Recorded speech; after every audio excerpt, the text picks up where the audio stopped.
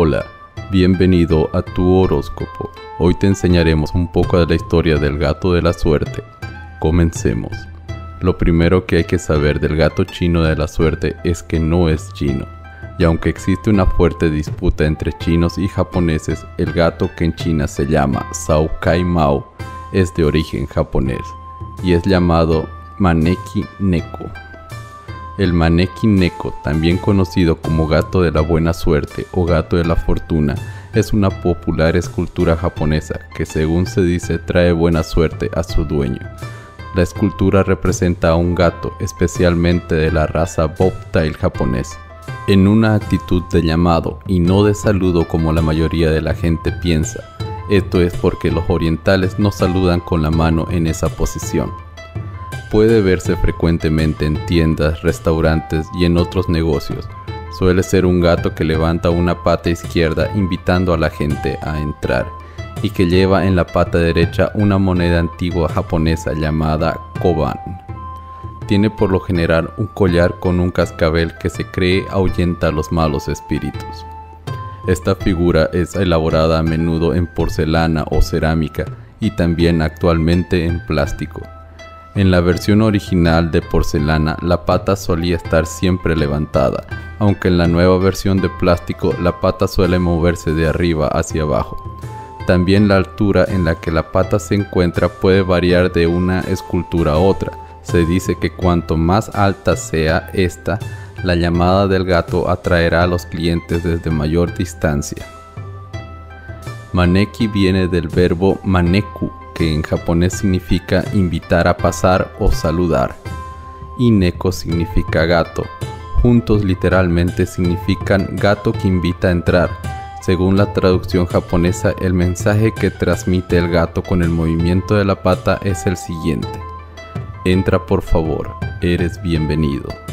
Hoy en día existen miles de versiones del maneki neko, desde gatos altos, gordos, bonitos, simpáticos, de diversos colores hasta alcancías y figuras de Hello Kitty. Pero su origen está en leyendas muy antiguas, de las cuales hay diversas versiones. Hoy en tu horóscopo te mostraremos tres de las más conocidas. Durante el siglo XVII, en la era Edo, en la época de los señores feudales, existía en Tokio un templo que había conocido mejores días y que tenía serios problemas económicos se encontraba prácticamente en ruinas. El sacerdote del templo, un hombre muy pobre pero aún así compartía la escasa comida que tenía con su gato, el cual se llamaba Tama.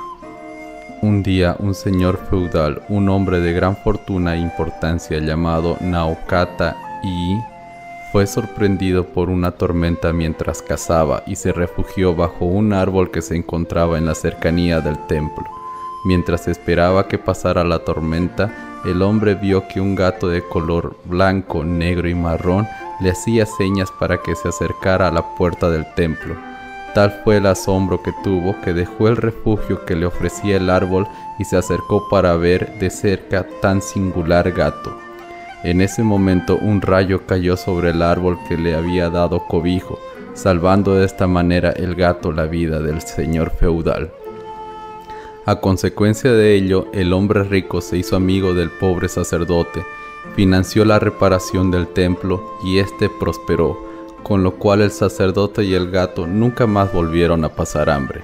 Tras su muerte, Tama recibió un solemne y cariñoso entierro en el cementerio para gatos del templo Gotokuji y se creó el Maneki Neko en su honor. Otra historia no muy agradable pero propia de la época, cuenta que una cortesana llamada Usugumo, que vivía en Yoshiwara, al este de Tokio, tenía un gato al cual amaba y criaba con mucho cariño. Una noche el gato empezó a jugar con su kimono y se lo fue llevando a rastras. Daba igual lo que ella dijera, el gato seguía con su juego. El propietario del burdel, al ver aparecer el gato con el kimono y pensando que el animal estaba embrujado, le cortó la cabeza. Esta salió volando hasta el techo, donde sin querer mató una serpiente, al parecer preparada para atacar en cualquier momento. Usugumo quedó sumida en el dolor por la muerte de su mascota.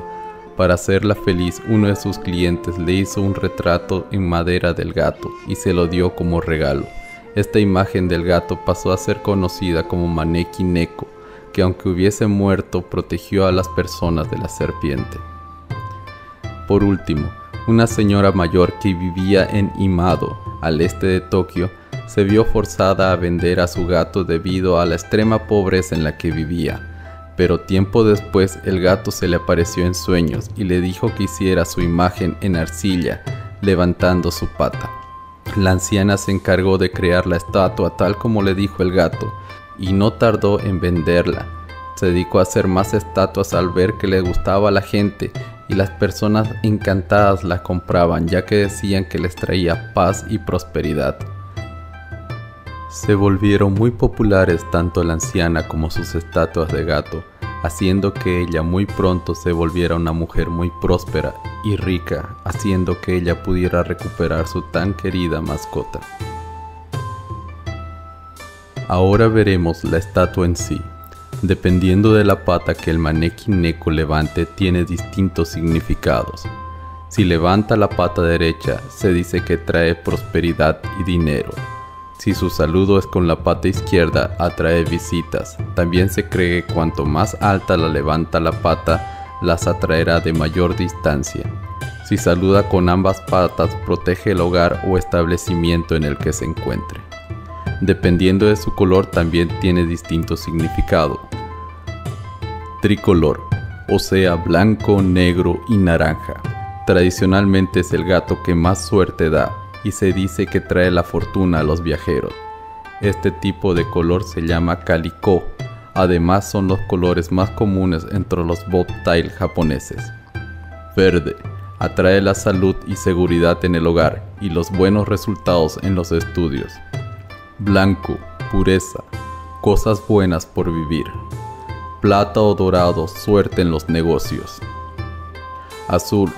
Cumplir los sueños y cuidado. Rojo, éxito en el amor, ahuyentando lo malo. Amarillo, éxito económico, esencialmente en los negocios. Negro, evita la mala suerte, aumentando la felicidad. Y al ser regalado es un signo de entrega de sentimientos amorosos. Rosa, ayuda a elegir a la persona con quien se contraerá matrimonio. Y bueno, Esperando que les haya gustado el video, deseándoles la mejor de las suertes, éxito y fortuna, me despido con un fuerte abrazo. Hasta pronto.